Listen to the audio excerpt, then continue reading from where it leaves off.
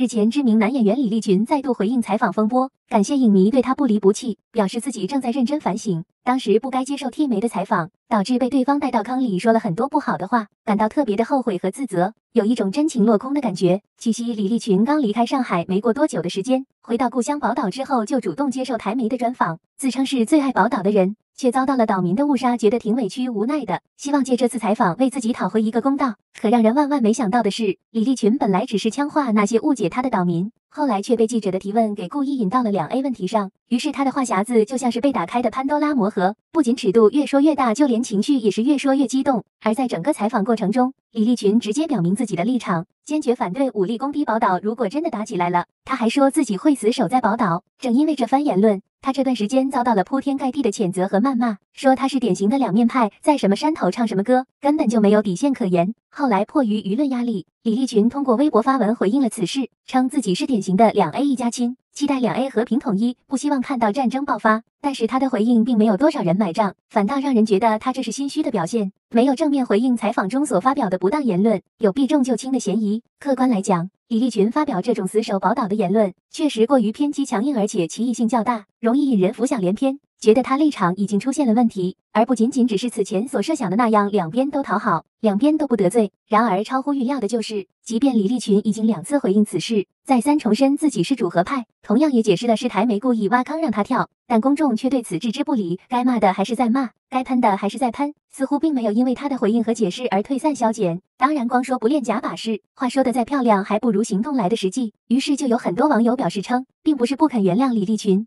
而是没有从他身上看到诚意，希望他能够用实际行动来证明自己。比如说，把上海的房子收归国有，然后以优惠价租给经济困难的烈士家属，这样才能够化解矛盾，真正实现两岸一家亲。说实话，像这种建议确实挺狭隘的，剥夺个人利益，实现集体利益，这就是活脱脱的道德绑架。因为这件事，李立群已经遭受到了网暴了，影响到了正常的生活和工作，现在却幸灾乐祸，还说要收回他在上海的房子，这跟明抢有什么区别呢？